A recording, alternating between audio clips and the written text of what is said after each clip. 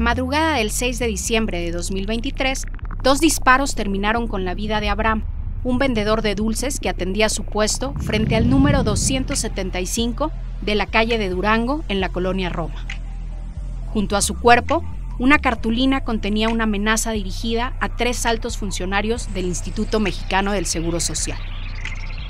Primer y último aviso.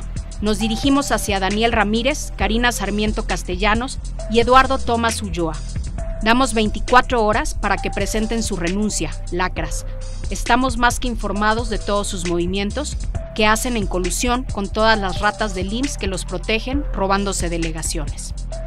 El joven que fue ultimado ayer en la colonia Roma, ¿hay algún avance en la investigación? Entiendo que la Fiscalía lleva su propia eh, indagatoria, pero por parte de la Policía Capitalina, ¿se sabe cómo ocurrió y, qué podría haber ocurrido en ese, en ese lugar en específico, dado el cartel que dejaron con algunos nombres del Seguro Social, compañías farmacéuticas, etcétera?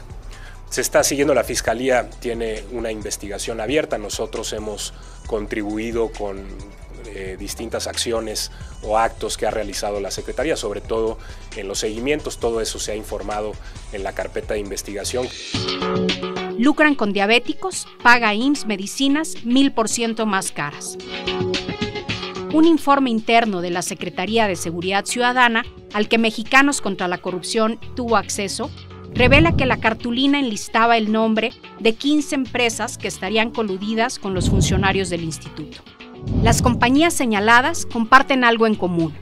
Durante la gestión de Zoé Robledo como director general del IMSS, todas se han visto beneficiadas por un esquema de compras emergentes realizadas a sobreprecios por las distintas delegaciones estatales del instituto.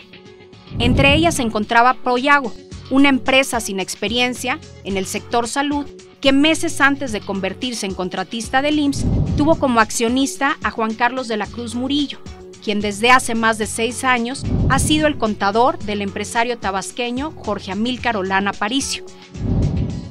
Argumentando desabasto, las delegaciones del IMSS han realizado compras a sobrecosto de medicamentos como la citagliptina metformina, usada para controlar los niveles de azúcar en la sangre de pacientes con diabetes mellitus tipo 2. De acuerdo con el INSABI, la compra consolidada garantizaba el abasto de citagliptina metformina para los últimos dos años del gobierno de López Obrador. En esa compra, el IMSS adquirió 3 millones de piezas a un precio de 210 pesos por envase. Sin embargo, las delegaciones del IMSS en Michoacán, Tlaxcala y Tabasco contrataron mediante adjudicación directa a Pollago que vendió esta medicina hasta 10 veces más cara que como se adquirió en la compra consolidada.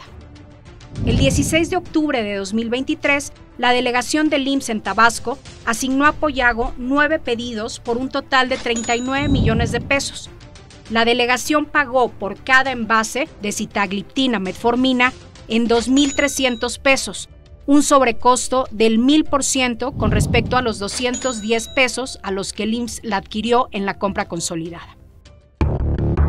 De ser una compañía dedicada a la venta de equipo de ferretería que nunca había sido contratista del gobierno, Pollago cerró el 2023 con 11 contratos que sumaron 195 millones de pesos.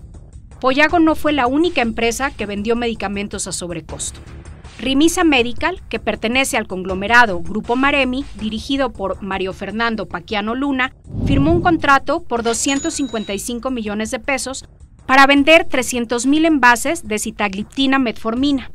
En esa ocasión, el precio fue de 1.850 pesos por pieza, cuatro veces más cara que los 210 pesos por envase que el pagó en la compra consolidada.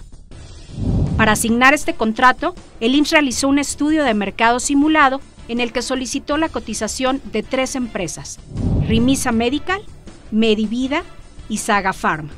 Una revisión a las actas de las tres compañías revela que el estudio de mercado se trató de una simulación, ya que tanto Rimisa Medical como Medivida son controladas por trabajadores y administradores de Grupo Maremi. Te invitamos a conocer la investigación completa en contralacorrupción.mx.